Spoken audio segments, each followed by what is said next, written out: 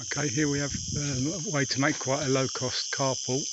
Just a basic um, simple metal frame, quite lightweight.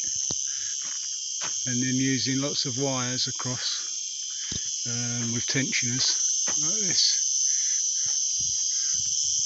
And then just uh, rolling out the, um, the lightweight bamboo covering on top. Just makes a nice shady carport and it's very cheap.